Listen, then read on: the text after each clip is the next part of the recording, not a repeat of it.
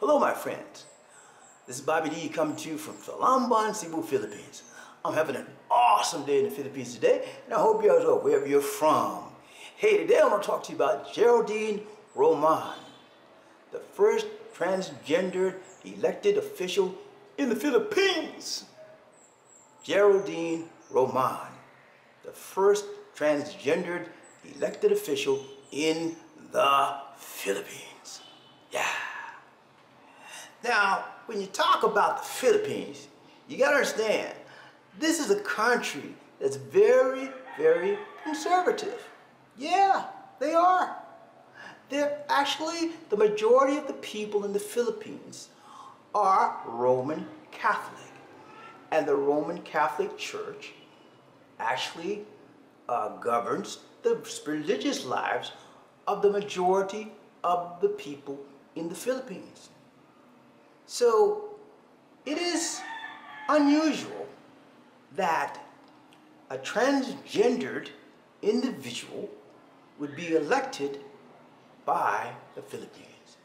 Let's talk about this person first. First of all, Geraldine Roman, 49 years old. In her early 20s, she began to have feelings. And, and she told her parents uh, that she was having feelings, feminine feelings, but yet she was in a male's body. And she felt uncomfortable. And she wanted to do something about it. So she had a trans she had a transgender sex change in her early 20s. And she had to go to the United States for that, and then she came back.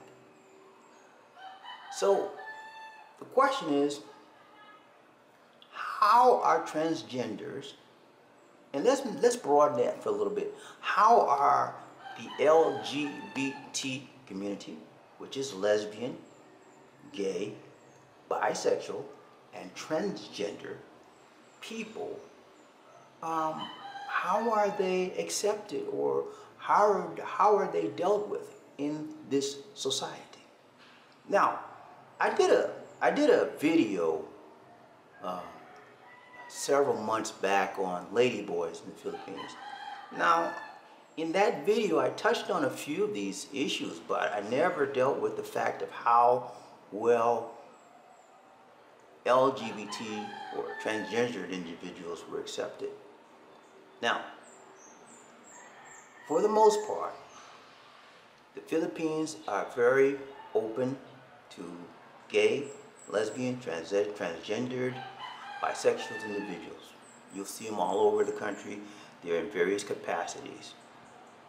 And uh, this is one of the most unusual things about this country because they're, most of the people here are very, very conservative when it comes to their religion and spirituality. But yet when it comes to someone that is not uh, of the general norm, uh, not male or female, but transgendered, they're very accepting. That's a good thing. The Philippines people have a very warm, loving, forgiving, and accepting attitude toward everybody. And that extends toward the LGBT community as well. Let's talk about Geraldine for a few seconds. She was born in 1949. She, I'm sorry, she was born in 1967. She's 49 years old. Her parents are legislators, so she's been exposed to politicians all her life. Her mom was, she, so she grew up in Bataan, Bataan, B-A-T-A-A-N, which is in the Luzon area. And her mom's term was about to expire. Mom, she, she actually ran for her mother's congressional seat because her mom couldn't run anymore. And she won. She won, not only did she win, but she won by a large majority vote. 62% of the vote won what was given to her. So what does that say? What does that say? What am I saying? I'm saying this. In the Philippines, it does not matter if you're gay. It does not matter if you're bisexual.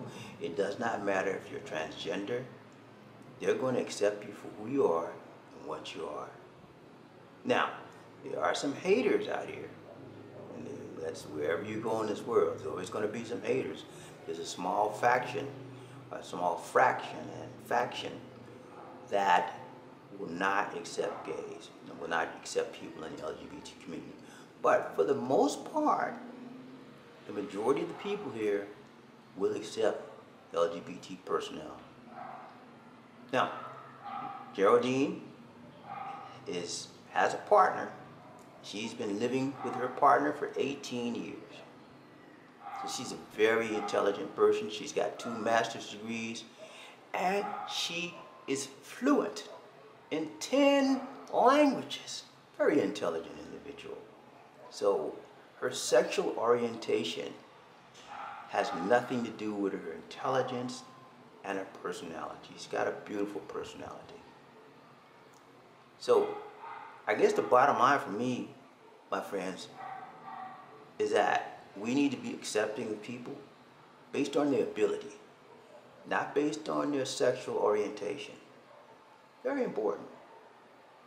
Very important. Geraldine has become an icon for the LGBT community, not only in the Philippines, but internationally, worldwide.